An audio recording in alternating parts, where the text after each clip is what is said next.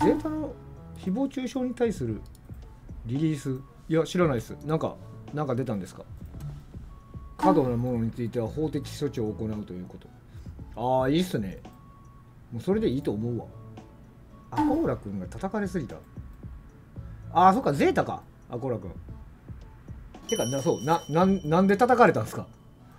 いやだからスティーブが叩かれてもアコーラ君が叩かれる言われはなくない？それでほんまにアコーラ君叩かれたんやとしたらリテラシーなさすぎるな。いや人まで叩いたらじゃあお前使えよってい言えますけどね。キャラまでやったらさわかるけど使い手まで叩いたらはじゃあお前使って勝てやってなりますよ。それやばいな。いやマジでかわいそうやなそれ。終わってるわ。いやほんまにそれが原因で赤消したとかやったらあのマジで終わってると思うわ。アコーラ君が強かっただけじゃないの？スティーブで結果出してんの彼ぐらい。おいおい。ルークぐらいになってから言えよ。ルークぐらいになってから。買ってるやつが1人しかいないはさすがに本人の強さあってこそやと思うから。いや別に僕もキャラは叩いてるんですけど。全然。キャラはむしろぶったたきまくってるんですけど。人までは絶対いかないな。だって話が別になんもん。マジで。いやスティーブが別にクソキャラなんは聞いてたらそうやと思うけど。聞いてたらっていうかまああの反応周りの反応見てたらああまあ結構結構なキャラなんやろうなって思うんですけどそれで使ってるやつ叩くはやばない。どうして使わないんですか？難しい。からですあむずいんや。あだから難しくて使われへんから難しくて自分は使えないけどクソっぽいキャラ。ケイオスやん! ケイオスだ!どっかで聞いたことあるなぁと思ってたらケイオスだ嫉妬も混じってそうだよね。てか嫉妬がほぼ全てやと思うけどねそんな。まあ叩いてるやつが使っても勝てへんかってんやろうな多分。なぜか使い手も叩かれるところまで。うーんちょ,、まあ、ちょこちょこは見たね。やっぱリテラシー。ゲーセンで培った対戦芸のリテラシーは偉大やったか。いやだからそう目の前にいると思って言ってください。俺はハイタニの前でゴーキ叩きすぎてハイタニに怒られましたから。ちゃんと目の前にでも言ってください。目の前で言えることなら言ってもいいよ。でちなみに怒られた後も俺は一生ゴーキ叩いたから。は？じゃあお前一生春国打つなよとか言って。お前春国当ててうまいと思ってんのかみたいな。もう話聞いてくれへんかったけどその後。いやでもじゃあゴーキはだから100歩譲まあ100歩譲っていうか、まあ、ゴーキはクソキャラだったんですけど別にゴーキ使ったら勝てるわなんかさ。誰も思ってないやん。だ時野さんもでまあハイタにもうまかったからうまかったから勝ってるんやなっていうのはなあわかるやん。なんでそこまで考えがいかないの？勝てねえよすぐゴーキ使ったってそんな。人まではいかねえだろ人までは。そこは犯しちゃいけない領域でしょ。こういう界隈っていうかこういうのをやってる人ならわかると思うねんけど。ゲーセンで聞こえるとこでそんなん言ったらえらいことなるぞ。キャラのおかげって謙遜しまくってた。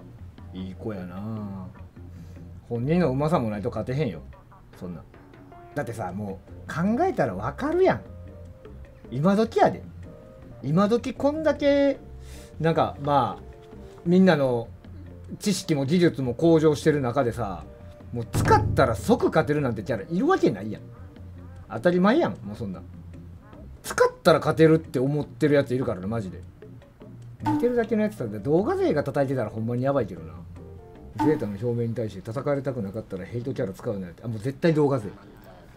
絶対動画勢それ。対戦ゲームやったことない人やと思う。一回ネットで叩いてる人の話聞いてみたい理由とかいろいろあのね多分何も思ってないと思いますよ。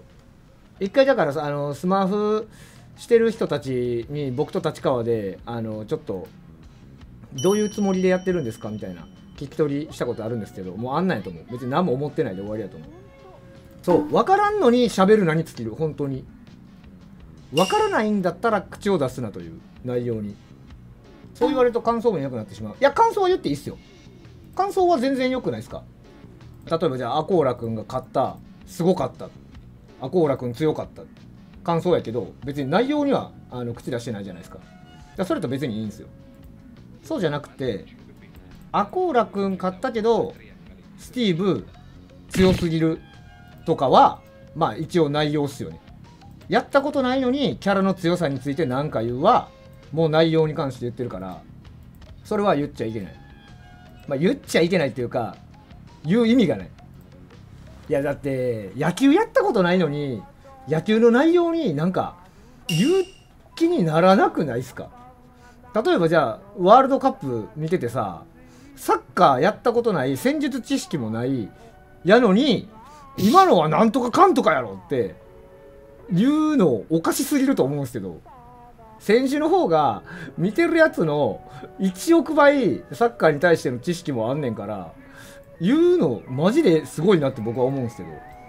いやだから僕はだからそのなんかやったことないのに内容になんか言える人ってマジですげえなって思う。だからまあ逆のことされてもあの許せるんだろうなって思いますね。からサッカーやったことないけどサッカー選手のプレーに対して内容に言うんだったらなんかじゃあその人が何の仕事してるか知らないですけどじゃあ例えばサラリーマンで営業やってるとするじゃないですか。なんか営業失敗した後に知らんやつに今の営業はなかったわ。みたいな。営業やったことないけどあの営業はちょっと良くなかったなみたいな。言われても許さ許せるんだろうなみたいな。だって普段だって一緒のことやってるからさ。やあの言葉遣いはあかんやろ。知らんけど。これが許せるならやってもいいんじゃない？知らんけどな。これが許せるなら。俺は絶対ムカつくから無理やけど。僕らがまるまる使いやがってって叩かれたらどうする？いやあのだからケイオス使っててぶったたかれたんですけど。てか僕強キャラしか使わないからまあまあ叩かれるんですよ。結構普通に。マジでクソキャラ結構使うから全然叩かれますよ。ベガもいちいち言われてなかった。まああの別にベガもクソキャラやからいいねんけどなんかそこじゃないなっていう、まあ、感じでムカついてる時に言われてだから大パンかましたっていうのがあの大パン事件なんですけど。順部はみんな使ってたから言われなかった。いや順部は結構ヘイトかった。多分ドラゴンボールで俺が使ってるキャラで一番叩かれたん順部やと思うわ。このキャラマジでさって。隣で対戦してる人のオーラ変わることとかもあったし。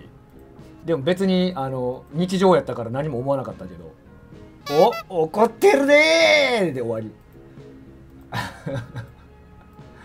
で記憶にある限りやってる時で一番叩かれたキャラは多分バーダック。バーダックはめちゃめちゃ叩かれてた。し俺も超キレてたバーダックは。だって何当てても後ろからバーダック出てきて3ゲージすんねんもんもう。で3択してきてなんなんこのキャラってマジで思ったけど。